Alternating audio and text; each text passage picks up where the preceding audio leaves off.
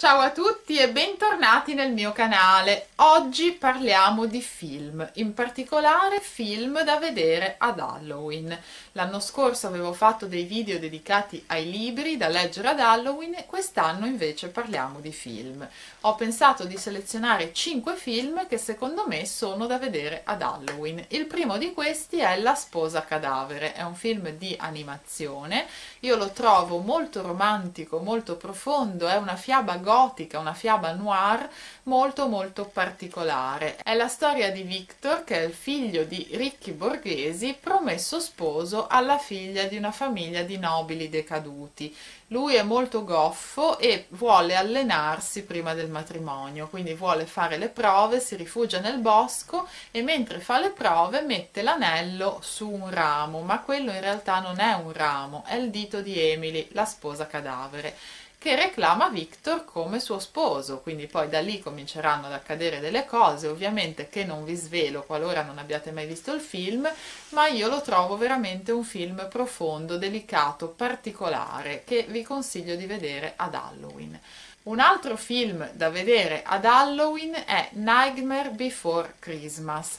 È un film anche questo molto carino, è la storia di Jack, che è proprio il re della festa di Halloween, perché comunque è molto famoso Jack e la sua leggenda della lanterna, se non sapete a cosa mi riferisco vi lascio il video nelle schede perché l'anno scorso avevo parlato della leggenda della lanterna di Jack.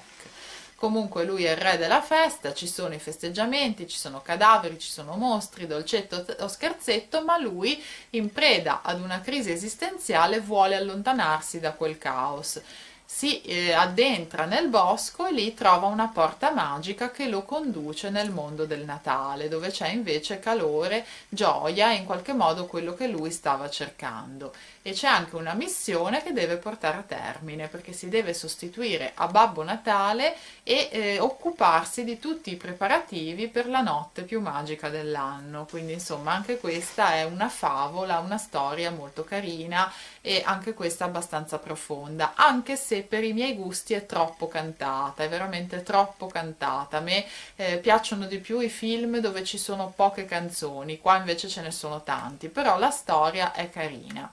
Un altro film sempre di animazione, così concludiamo con quelli di animazione, che vi consiglio di vedere ad Halloween è Hotel Transilvania. Anche questo è veramente molto carino, è la storia di Dracula che è rimasto vedovo, è rimasto a vivere nel castello con la figlia e ha sempre cercato di proteggerla dagli umani, le ha sempre detto che sono pericolosi, che non l'avrebbero mai accettata nel loro mondo e quindi l'ha sempre tenuta chiusa nel castello. Però questa ragazza che si avvicina al suo 118 compleanno eh, vuole vivere, vuole scoprire il mondo, quindi in qualche modo chiede al padre di lasciarla andare nel mondo lui le concede di andare nel mondo ma in realtà la inganna perché le fa credere che gli umani non la vogliono. Quindi lei torna indietro delusa e decide che non andrà mai più via dal, dal castello. Lui trionfante decide di organizzare una festa per il suo compleanno invita tutti i mostri ma in qualche modo un umano riesce a intrufolarsi nel castello. Lui lo scopre ma per proteggere la figlia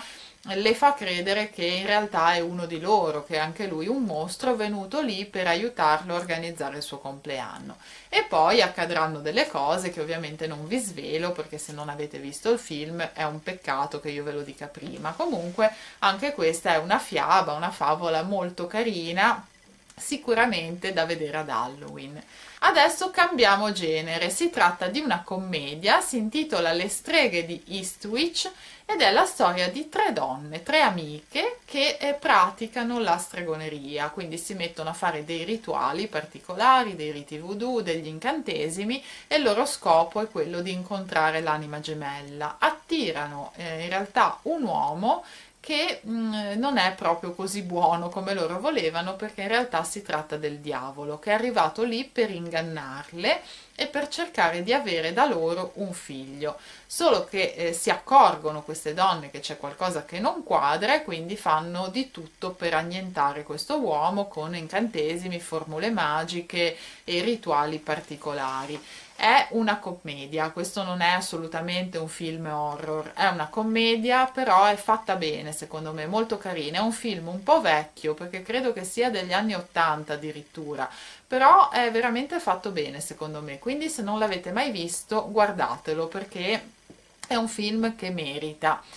L'ultimo film che vi propongo è invece un horror, però è un horror degli anni 40, quindi è un film molto vecchio, ma che secondo me merita di essere visto almeno una volta. Si intitola La casa sulla scogliera.